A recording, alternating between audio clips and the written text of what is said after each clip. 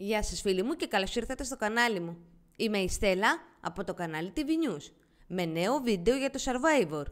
Όπως είδατε και από τον τίτλο θα σας πω τις ανακοινώσεις του Γιώργου Λιανού.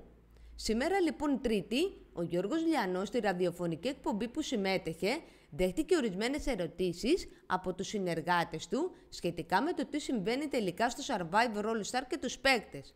Βάζουν καινούργιες κάμερες στους φίνικες Κάθε φίνικας και κάμερα. Κάθε κάμερα και καημός. Ξεπορτίζουν οι παίκτες, ανέφερε αρχικά ο Γιώργος Λιανός. Εγώ πιστεύω είναι το νούμερο 2 και ξαναγυρίζουν και συνέχισε για την ανάρτηση του τριαντάφυλλου που αναφέρει δίλιο ανάμεσα στη Σταυρούλα. Ακόμη εδώ είναι, δεν έχει φύγει ακόμη αυτός. Πότε ήταν δικό του το Survivor, είπε για τον Κωνσταντίνο Βασάλο και τη Μαριαλένα Ρουμελιώτη για το επίμαχο πλάνο στο χθεσινό επεισόδιο.